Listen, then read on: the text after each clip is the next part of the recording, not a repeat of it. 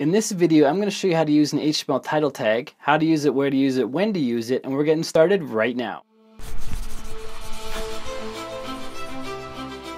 Hey, what's up guys? Welcome back to another video. It's Bjorn from Higher Learning Lab, where I help you code better so you can earn more for yourself, for your clients, and for your business. If it's your first time here, hit subscribe, then hit the bell notification icon so you're notified when I publish more tutorials for you. And with that out of the way, let's learn about HTML title tags over in the screen capture. I'll see you there. On the left hand side, we have a very basic HTML page. On the right hand side, we see how that page renders in a browser. And at the very top, or near the very top, you see we have our title in between the title tags. And our title is Higher Learning Lab.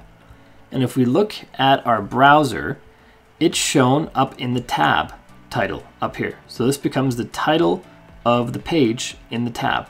You might see that in your window label or different browsers display it in different ways, but it's more often than not not part of the actual page itself. It's external to the page and it's in the browser, in the tab or the window label.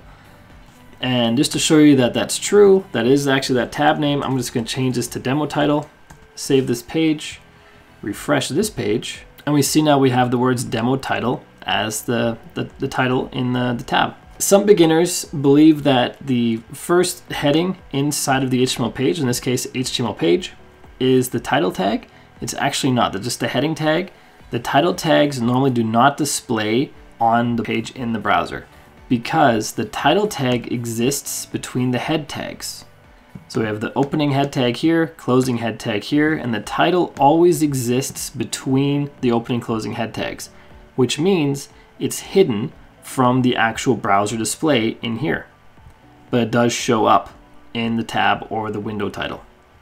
And the headings you see on the page, actually all the information you see on the page exists between the opening body tag and the closing body tag.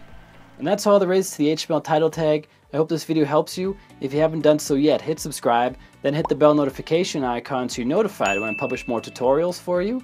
And next up is clicking one of these videos on the right hand side that just appeared so you can learn more about coding. And until next time, keep crushing it. And I will see you in the next video.